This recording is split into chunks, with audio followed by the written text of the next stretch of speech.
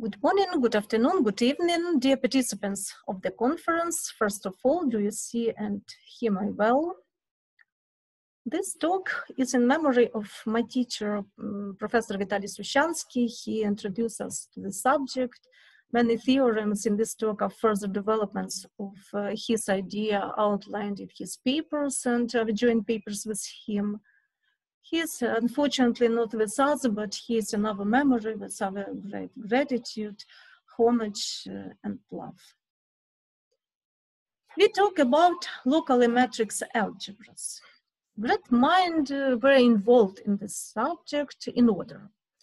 We call an associative algebra a local matrix. Uh, well, the terminology is due to Alexander Kurosh if for uh, each finite subset of this algebra, there exists a subalgebra containing this finite subset, which is isomorphic to some matrix algebra. And uh, such algebra is unital if it contains unit. During this talk, we try uh, to make the comparative analysis between countable dimensional and uncountable dimensional cases we call a unital locally matrix algebra primary if all its matrix subalgebras contain unit and isomorphic to matrix algebras of fixed prime number p to some positive integers power.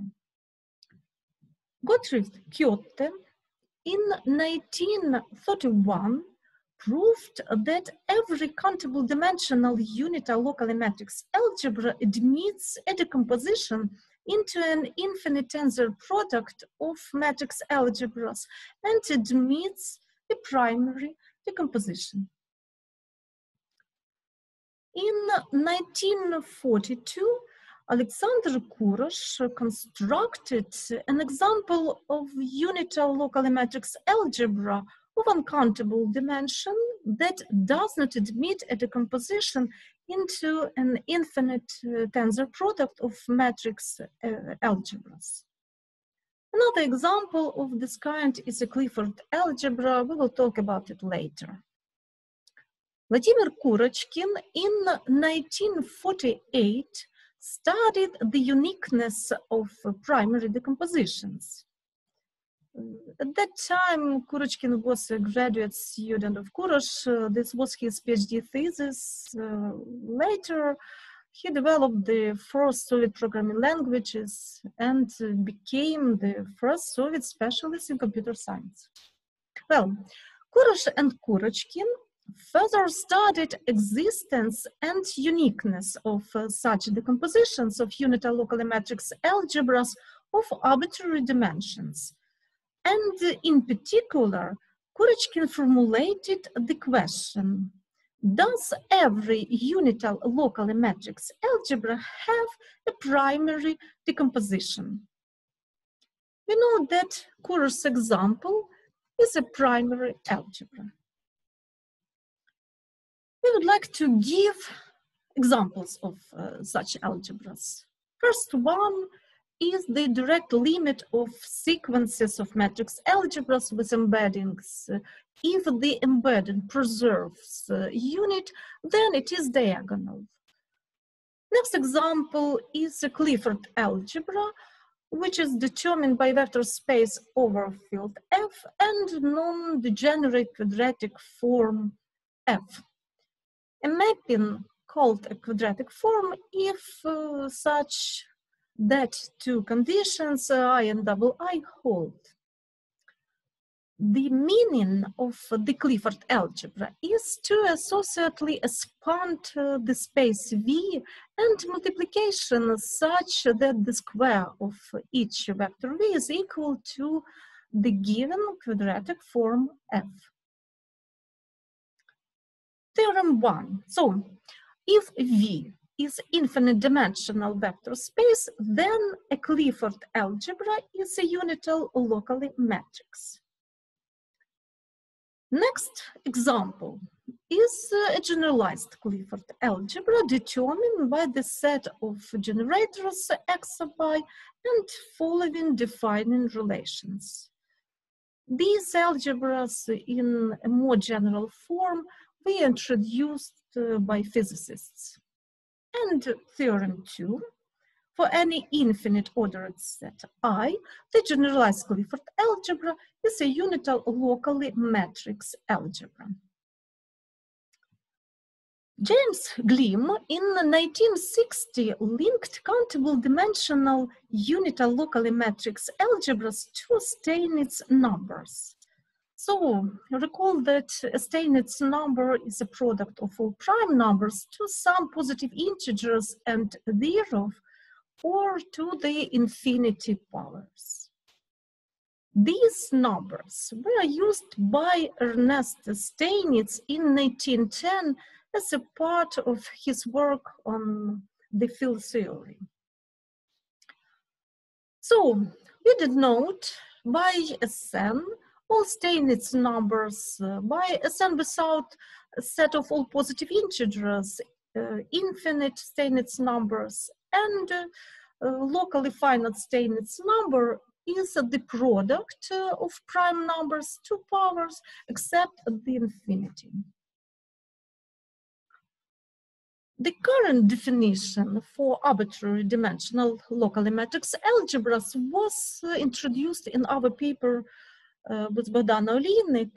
Uh, we define a Steinitz number of a unital local matrix algebra as a least common multiple of the set dA of all positive integers and such that there exists an uh, algebra of matrices of order n.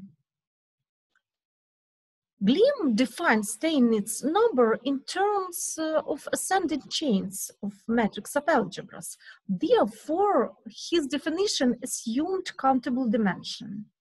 This definition appear in our paper. Glimm proved uh, in 1960 uh, that two countable dimensional unital locally matrix algebras are isomorphic if and only if their Steinitz numbers are equal. The analogical result was obtained by three authors, Vitaly Sushchansky, Bogdan Oliynyk, and Oksana Bezushchak in 2016 for more general class. So theorem three, two countable dimensional rational structures are isomorphic if and only if their Steinitz numbers are equal. In case of a Kurosh example, the Steinitz number is 2 to the power infinity. The Steinitz number of Clifford algebra is also 2 to the power infinity, and uh, the Steinitz number of generalized Clifford algebra is L to the power infinity.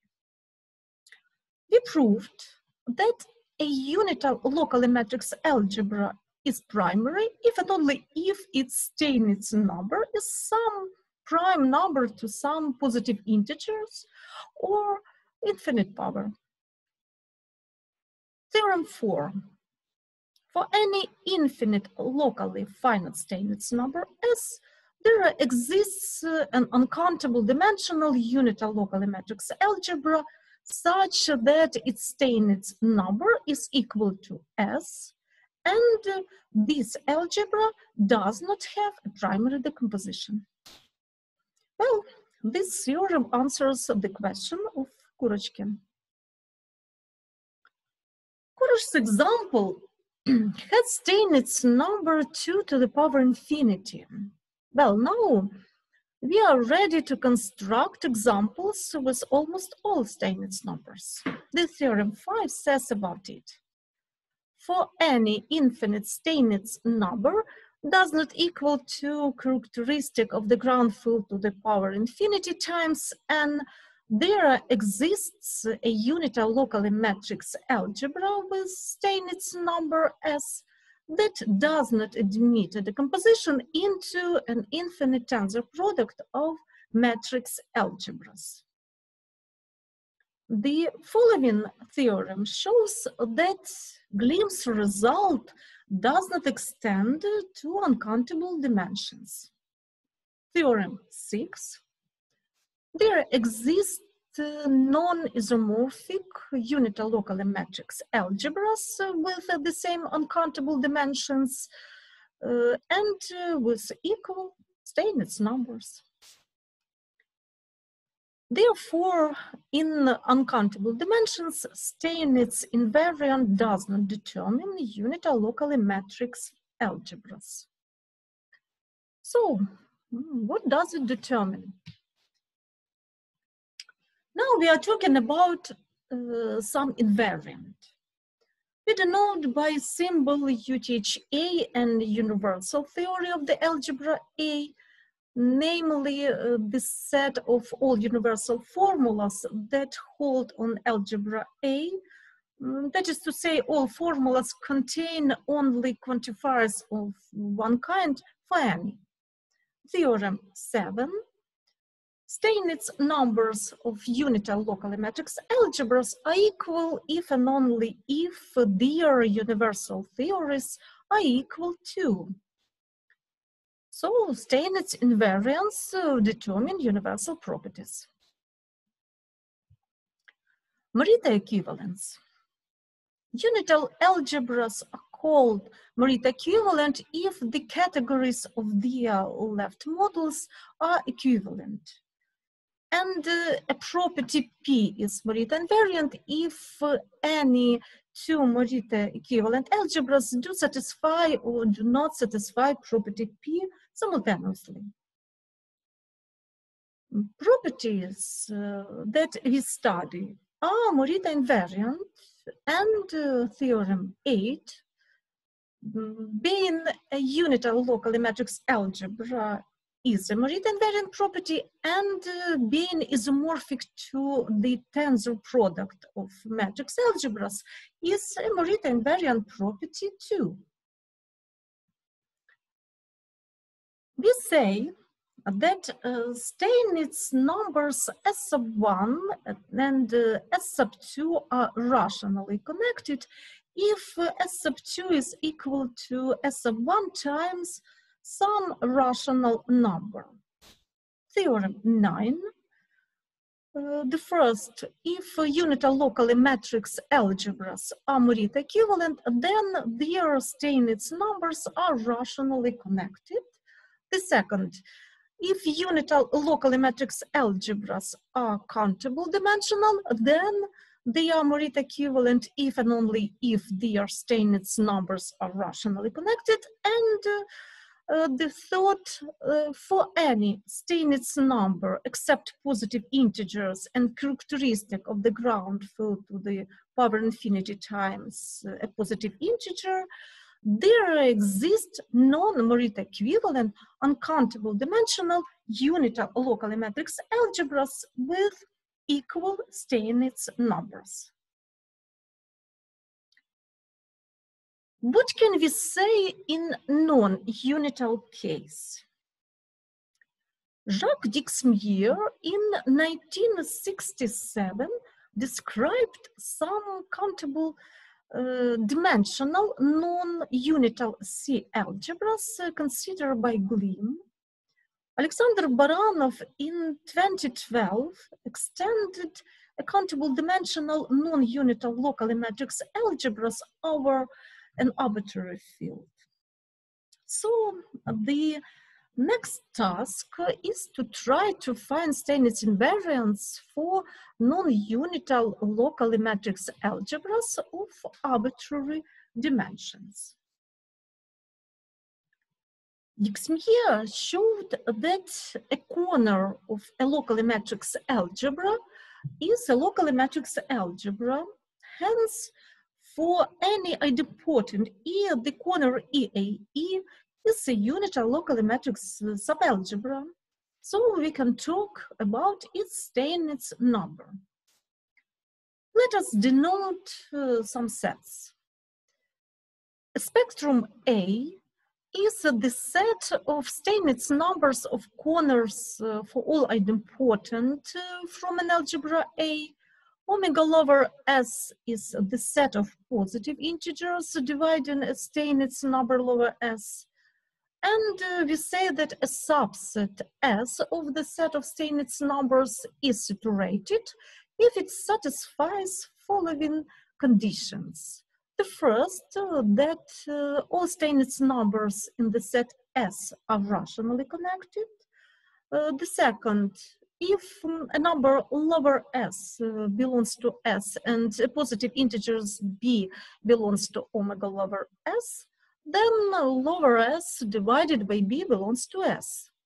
And the third, if a number lower s uh, belongs to s, a positive integer b belongs to omega lower s, and n divided by b times lower s belongs to s, then for any i from 1 to n positive integers i divided by b times lower s belongs to s. For any locally matrix algebra A, the spectrum A is a saturated subset. Hence, a unital algebra is described by Steinitz number and uh, theorem 10 non-unital local matrix algebra is uh, described by some set of Steinitz numbers, a spectrum. And a spectrum of uh, such algebra is uh, described by saturated subsets. Some examples of saturated subsets for any Steinitz numbers or only infinite Steinitz numbers. The first one is the set of positive numbers from 1 to n. Uh, the next three sets consist of positive integers uh, a divided by b times s uh, for b from omega s in the second case, and uh, the same with exception of positive integers a um, from 1 to including or not including anti of uh, r times b in the third case. Why do, you, do we need these sets? Because theorem 11, the only saturated subsets of the set of all Steinitz numbers are those four kinds of sets. And the following theorem 12 gives another proof of Dixmier-Baranov theorem. Theorem 12. If countable dimensional locally matrix algebras have coincident spectrums, then these algebras are isomorphic. Now let us consider derivations and automorphisms of locally matrix algebras we consider the Lie algebra of all derivations, the Lie algebra of inner derivations, and the Lie algebra of outer derivations. So how large is uh, the Lie algebra of outer derivations? Shavkat Ayupov and Karim Kudaibergenov in 2020 found uh, an outer derivation in a countable dimensional unital local matrix algebra of Steinitz number 2 to the power infinity. Well, by Glimm's theorem, there is only one such algebra up to an isomorphism. Helmut Strade in 1999 studied derivations of diagonal locally simple algebras over a field of characteristics zero. These algebras are very close to our case. So, from Ayupov-Kudaibergenov result, it follows that at least for one Steinitz number, it is non-zero. Let us introduce some notation. The group of all automorphisms, uh, the group of uh, conjugations uh, by invertible elements, and uh, the group of outer uh, uh, automorphisms.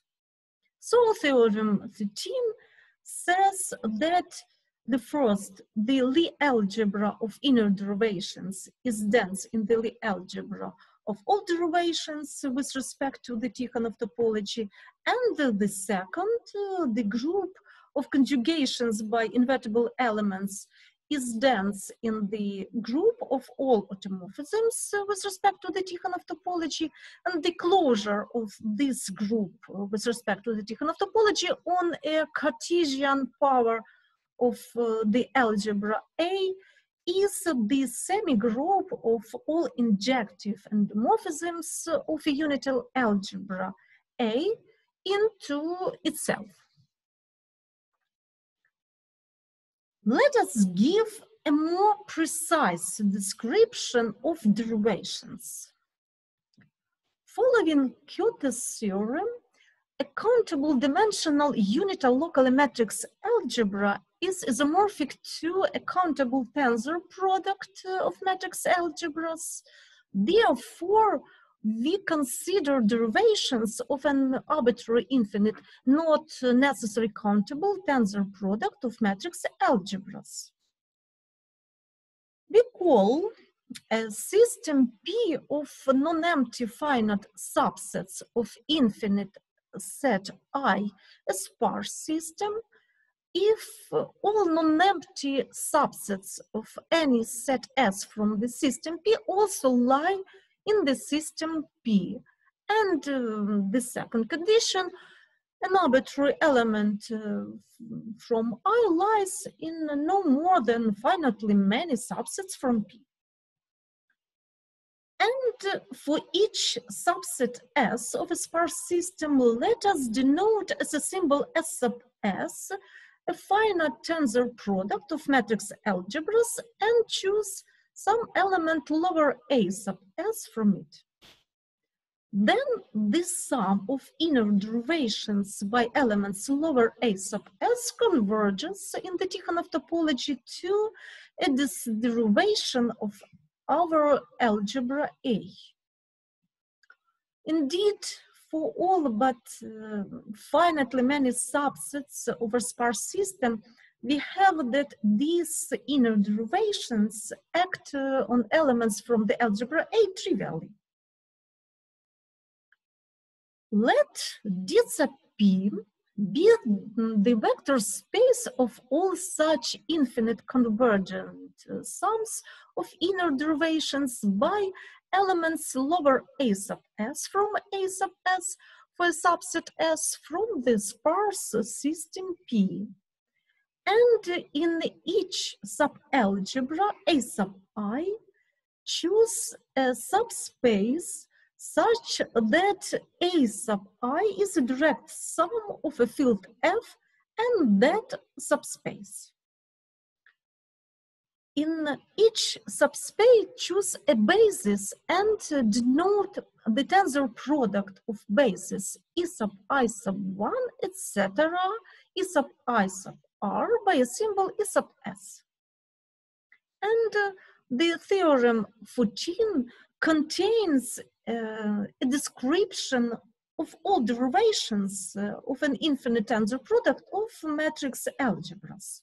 The first, if a set I is countable, then the Lie algebra of all derivations is a union of set D sub P for all sparse systems of the set I.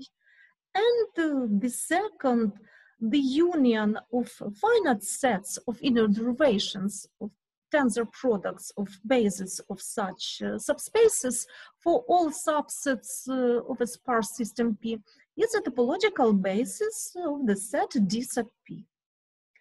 And uh, the next theorem 15 is about uh, some application. For a countable dimensional local matrix algebra, the Lie algebra of outer derivations is not locally finite dimensional.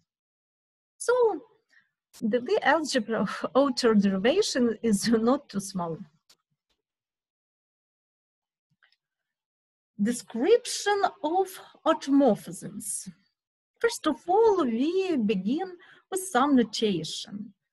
So let A be a countable dimensional local matrix algebra and uh, let H sub n be a group of conjugations by invertible elements from the tensor product of matrix algebras a sub i for indexes a from n to the infinity.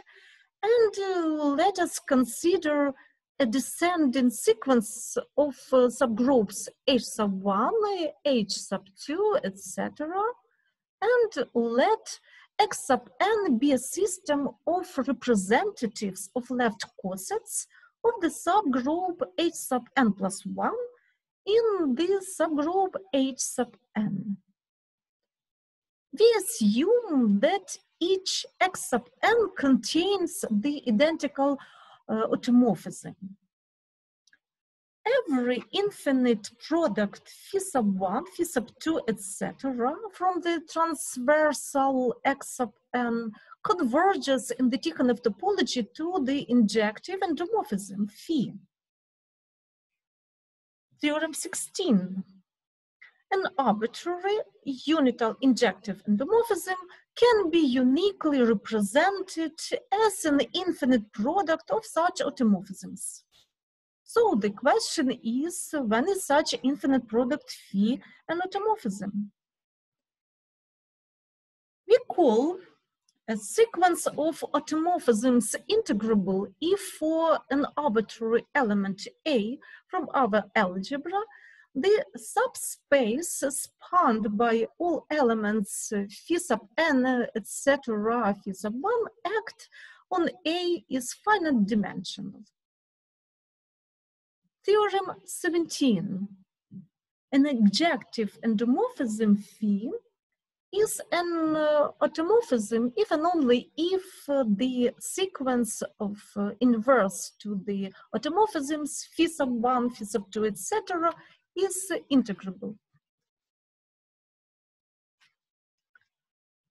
Last section of our talk is about dimensions of Lie algebras of derivations and orders of groups of automorphisms.